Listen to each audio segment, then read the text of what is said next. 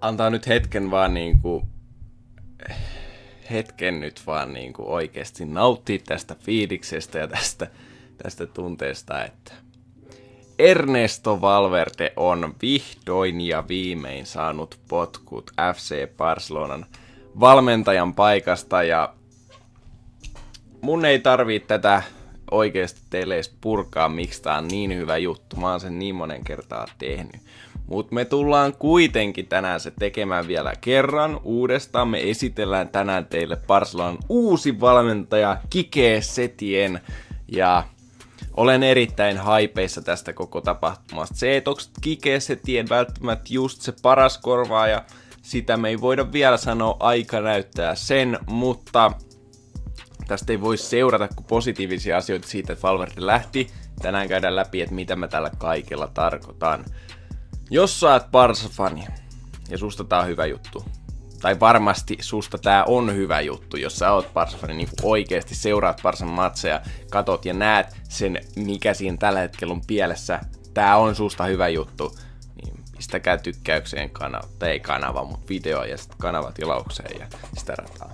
Nyt käydään vähän tälle tarinan muodossa tää koko Valverden kaari Parsassa ja sitten esitellään vähän Käydään tänään myös vähän Xavista juttuja läpi, sitten esitellään meidän uusi valmentaja Kike. Ja ja jos joku miettii, että kun se on Quique, kirjoitetaan niin, no, Kike, lausetaan, la, lausutaan, niin tota, älkää siitäkö välittäkö, että jos teette tavallaan tunnista sitä, että jos mä sanon Kike, niin tarkoitan Quique nimistä valmentajaa. Nyt on ihan turhat selitykset. Mennään tästä eteenpäin. Eli siis Valverde pestattiin kaudella 2017-2018, oikeastaan kaudex 2017-2018. Tosiaan Luis Enrique lähti Parsasta 2016-2017 kauden jälkeen. Enrique on, on sille aika legendan asemassa myös Barcelonassa siinä mielessä, että voitti Mestrain liikan. Se on aina hyvä juttu. Se on aina hyvä juttu. Ja muutenkin peli oli viihdyttävää Luis Enriquen aikakaudella. Siitä ei pääse mihinkä. Vaikka tuli vähän nöyryyttäviä tappioita muun muassa PSG vastaan 4-0, niin Luis Enriquen sanat Parsan mentäessä siihen toisa, toiseen osaotteluun. Luis Enrique sanoi, että jos PSG voi tehdä neljä, me voidaan tehdä vaikka kuusi. Ja Parsa voitti 6-1. Tää mentaliteetti puuttuu Valverdelta ihan täysin. Tää Valverde niinku sillä ei ollut semmoista, se ei ole semmoinen voittajahahmo, että me tehdään tää, me voitetaan. Ei, se on sillä että jos Pars menee johtoon ja tai sanotaan vaikka just, että Barca menee Liverpoolia vastaan 3-0 johtoon, niin toinen osaottelu Valverde menee ihan sille vähän takki auki puolustusmeiningillä ja aina homma kustii. Aina. Tänään käydään vähän noita taitekohtia vielä, missä nähtiin Valverden kyvyttömyys valmentaa FC Barcelonaa. Se ei missään nimessä Mä en sano, että Valverde olisi huono valmentaja itsessään, mutta se ei kuulu Barcelonaan. Se on fakta. Toi ei niinku, ei. Ei missään nimessä. Valverde pestettiin 2017-2018 kaudeksi ja tota noin, Valverde on voittanut Barsan ringissä nyt kaksi laliikaa, yhden Copa del Reyn ja yhden Espanjan super, tota, Supercupin. Ja nyt jos miettii, niin eihän toi kuulosta miltään katastrofaalimaiselta, että mitä sä valitat? Valverde on kaksi kautta ollut Parsassa, voittanut kahtena kautena ää, Laliikan.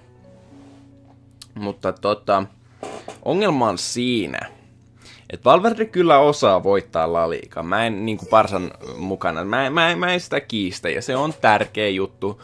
Mutta nämä ponnistelut mestariliikassa on aivan, aivan katastrofaalimaisia, ihan oikeesti. Niin kuin muistatte, mä oon aina puhunut, 2018 keväällä pelattiin Roomaa vastaan mestariliikassa. Voitettiin eka osoittelu kotona 4-1. Sitten hävittiin toinen vieraissa 3-0. Roomaa vastaan, eikä päästy välieriin. Tiputtiin puolivälierissä. Ei niinku, ei noin. Ei missään nimessä noin sais kyllä. Parsan tasoinen joukkue, miettikää. Kauhea pudotus. Ja me lähdettiin siihen Rooma-osaotteluun toiseen osaotteluun. Me lähdettiin ihan niinku, siis me lähdettiin puolustamaan. Ja siitä te tiedätte sen kun Barsa lähtee puolustamaan, se syöttelee siinä omassa päässä sitä palloa. Ja sitten tulee pallon menetyksiä ja vastustaja pääsee iskeen. Tää on ihan älytöntä. Mä en tiedä miksi Valverde on päättänyt, että tehdään näin. Ihan älytön homma. No, ei siinä mitään. Ehkä voisin sanoa, että siinä vaiheessa olisi pitänyt antaa potkut, mutta ehkä vielä toinen mahdollisuus. Kuitenkin voitettiin tuolla kaudella Copa del Rey ja La Liga. Et ei niinku huono kausi siinä mielessä, aika nöyryttävä kyllä tuo mestariliiga. Mutta sitten viime kaudella, keväällä 2019, voitettiin Liverpool siinä sitten 3-0 kotona ja sitten hävittiin Anfieldillä 4-0. Tää oli pistejiin päälle. Tämän piti niin olla se, että Valverde ulos, Valverde potkut, se on sillä selvä. Ei, Valverden annettiin edelleen jatkaa. Ja tota, mä en tiedä mitä, siis mä muistan silloin, kun mä katsoin tätä Liverpoolin sitä toista osaottelua, ja tota, siitä olisi video, mä menin heti sen jälkeen ulos kuvaan. Mua ärsytti niin paljon.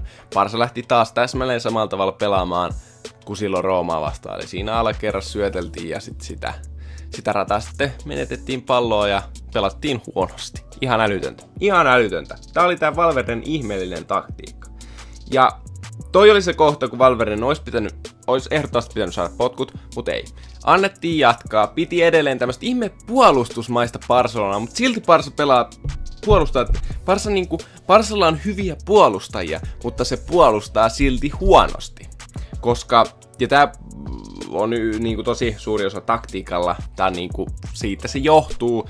Ja tota noin, niin muutenkin Parsa ei ole puolustusjoukkoja. Parsa puolustaa parhaiten hyökkäämällä. Eli sillä, että se pitää palloa ylhäällä ja tekee maaleja. Että se ei edes päästä hirveästi niin kuin tavallaan vastustajia nousemaan. Se on se on aina ollut se Parsan puolustustaktiikka. Siksi Parsa on päästänyt yleensä aika vähän maaleja. Mutta tää on Valverde aikana muuttunut ihan täysin. Tää on vedetty roskikseen ja on tullut tämmöinen, että pidetään palloa alhaalla. Ja se, se homma kusee Parsalla. Se vaan kusee. Se on fakta.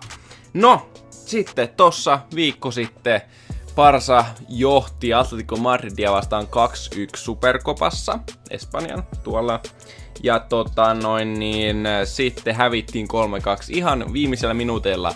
Atletico teki kaksi maalia. Taas ihan täys sulaminen. Ihan pohjamutiin sulattiin ja näin sitten Atletico meni finaaliin, jonka tosin hävisi Real Madridille. Mutta niinku, niin monta kertaa ollaan huomattu, että jos Parsa sulaa, Valverde ei saa Parsaa nostettua sieltä munasta, vaan homma, homma on sillä selvä. Varbel, se on kirjaimista, se on nukkunut Parsan pelien aikana. On niinku kuvia, kun se on vaan tollain. Ja tää kuvaa niin paljon sitä. Se, että jos Parsa tekee maalin, ei innostu. Jos Parsa päästää maalin, ei innostu. Aina, aina se sama ilme. Ei oo semmoista temperamenttia. Valverdelle ei oo semmoista luonnetta valmentajaksi. Semmoista, että niinku hei, Jürgen Kloppilla, Pep Guardiolalla, kaikilla näillä, niillä on se, te tiedätte. Ne tuulettaa ja ne myös raivostuu. Ja niin sen kuuluu tietyllä tavalla olla. Ei aina voi olla tyynenä ei voi olla. No, nyt sitten heti alkoi huhut siitä, että Valverde saisi potkut tosta heti sen jälkeen sen viime viikon matsin jälkeen. Ja tota noin, niin nyt siinä sitten kävi niin, että Xavia lähdettiin kosiskelemaan Gatariin. Muun muassa Erik Abidal lähti sinne ja tota, Xavia yritettiin saada nyt sitten Parsan valmentajaksi, mutta silloin katarilaisen Al-Sad-seuranimisen kanssa sopimus, mikä päättyy kesällä 2021. Ja tota, tämän sopimuksen myötä Xavi ei olisi siis voinut nyt tulla Parsan valmentajaksi, koska, koska se olisi täysin sopimuksen rikkomista. Että jos se nyt lähtisi Parsaan, totta kai ne voisi jotenkin sen sopimuksen purkaa, mutta mä ymmärrän, että tota, Alsat haluaa pitää Xavin, ja tota, näin sitten, näin sitten Xavista ei ainakaan vielä tule FC Barcelona valmentaja. Lionel Messi ja Sergio Busquets vähän vinkkas johdolle, että tota, Xavista voisi tulla se mantelin periä, mutta ei vielä. Mutta mä uskon, että se on käytössä välttämätöntä, että Xavi tulee tässä lähivuosina vielä jossain vaiheessa valmentamaan FC Barcelonaa. Myöskin Pochettinoa, Tottenhamin ex-valmentajaa ja Garcia Pimientoa huhuttiin. Garcia Pimiento on siis toi se on toi tota, FC Barcelonan sen kakkostiimin ö, valmentaja.